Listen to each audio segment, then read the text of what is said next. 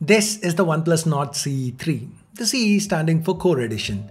This time around, OnePlus seems to be offering some very important upgrades over the CE2. Now in today's video, let's unbox the Nord CE3 and take a look at what these upgrades are. Hey guys, Ash here from C4eTech and let's get started. Now the box might look sealed, but nah, it's already been opened since it's been shipped internationally. So let me peel off what's left of the plastic. Once open, we are greeted by this black insert.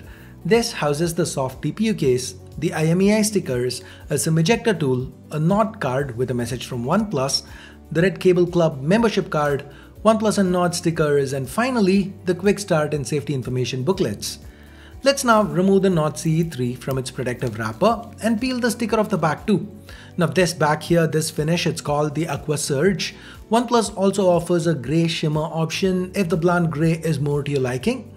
Now the back you see here, it still is plastic and so are the sides. That said, to the front if you notice, the phone, it looks larger.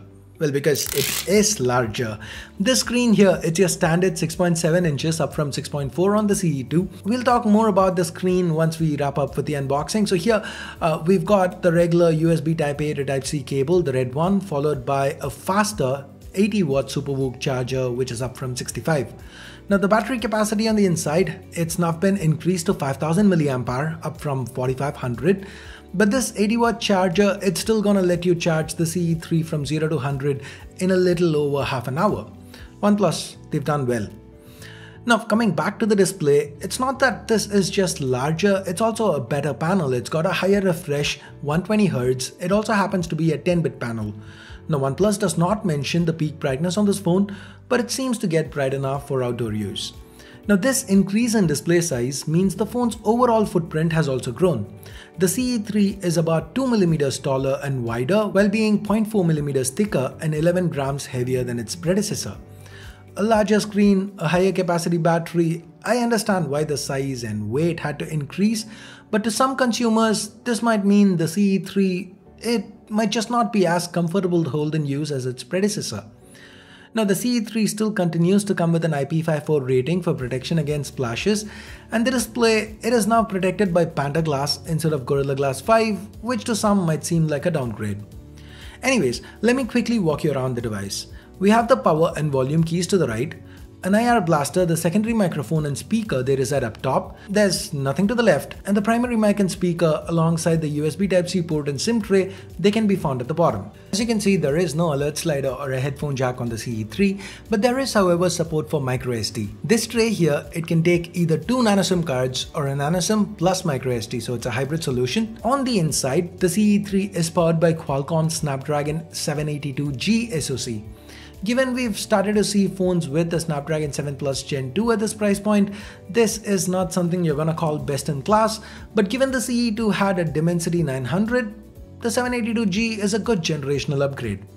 Now this chip, it's paired with up to 12 gigs of LPDDR4X RAM and 256 gigs of the faster UFS 3.1 storage. On the software side of things, the Nord CE3 is running on Android 13 with OnePlus's colorified Oxygen OS 13.1 on top, I like how OnePlus hasn't really included many third-party apps, maybe Netflix, but that's it.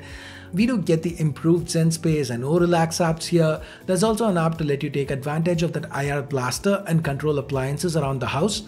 Now the software on the CE3 in the limited time I've spent with it, it felt responsive, apps did launch quick. The haptics in particular felt quite nice, that's because there's an X-axis linear motor on the inside. The fingerprint scanner, it's under the display, it's of the optical variety. I had no issues with it. 2D face unlock also felt flawless. It's got a 16 megapixel sensor with an f2.4 lens. And here are some quick selfie samples I shot. How do you think they turned out? Let me know in the comments. OnePlus promises 2 years of Android version upgrades alongside 3 years of security patches for this phone. Now to the back we have a triple camera setup. The primary is Sony's 50 megapixel IMX890, the same sensor from the OnePlus 11.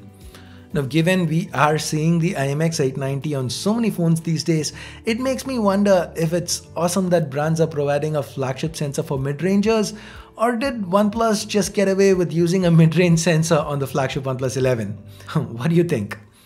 Now jokes apart, this is a 1x 1.56 inch sensor that's been paired with an optically stabilized f1.8 lens. It seems to shoot rich images with good dynamic range.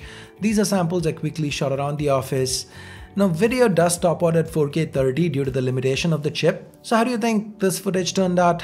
Leave a comment. Now the secondary, it's another Sony sensor, unchanged from the last time around, the IMX355. It's an 8 megapixel sensor that's been paired with an f2.2 ultra-wide lens, one that has a 112 degree field of view. Now the third sensor is your token 2 megapixel macro. Now as you look at more samples I shot with these cameras, let's talk about pricing. The CE3 starts at 26,999 for the 8128 and this seems to be a 2000 rupee hike over the CE2's launch price. Now guys, to be honest, I've gotten tired of brands hiking prices every launch. Now yes, I see that the CE3 does bring with it a whole lot of upgrades, but at the same time, I wish they could have kept the starting price the same as the last time around. So what do you guys think of this 27k asking price? Do you feel the C3 is a non-starter given something like the Poco F5 with a 7 Plus Gen 2 is available at a similar pricing? Or do you feel this is something that's still worth considering? Let me know in the comments below. Thanks for watching. Bye bye.